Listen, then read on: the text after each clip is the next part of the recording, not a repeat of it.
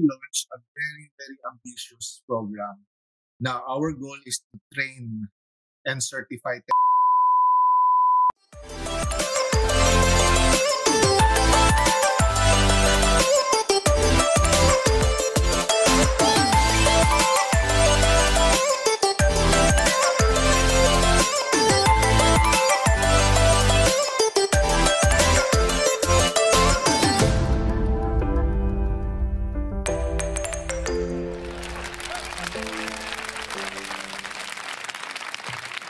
So, Jason, can you tell us more about Bounce Back? What is this all about? This global movement? So, Bounce Back, uh, if, if you're not a member of Bounce Back yet, uh, it's a group I started in Facebook. Parang wala naman akong really intention to really grow it that big. Pero, you know, things, uh, one thing led to another. Biglang, right now, we're 100 plus thousand members na mga entrepreneurs, professionals, teachers, uh, all helping each other to Yes. bounce back.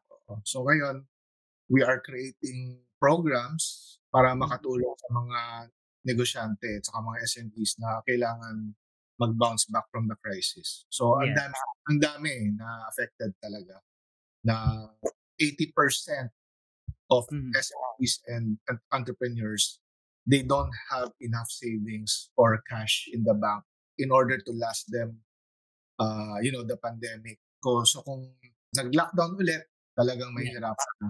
Kung hindi naman nag-lockdown yung social distancing naman it will may- mahirapan din sila mag-bounce back kasi paunti-unti yung bumabalik yung mga customer eh. Let's say pag restaurant ka may social distancing so mga customer hindi rin lumalabas masyado. So Mm.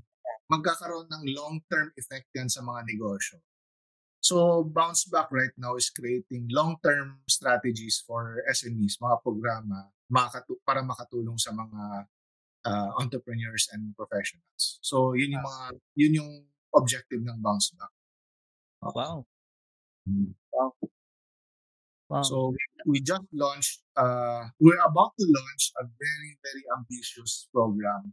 Now, our goal is to train and certify 10 million Filipinos to become uh, digitally adept, okay? And Yes. then to pay it forward by being compassionate. So we call it uh, com- competency and compassion. Kasi ang nakita ko kasi sa bounce back, the reason why it- it's growing and it's helping a lot of people, it's not just about business, about financial assistance, about competency.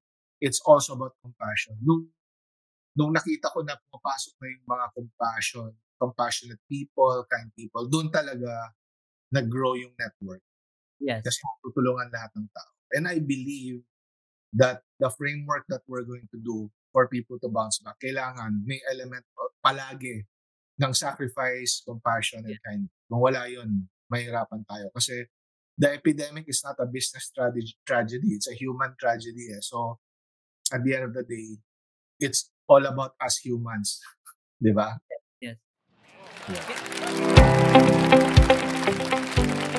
Did you find this show helpful? Yes? Then give us some support. Click that like, share, and subscribe button. See you on the next episode.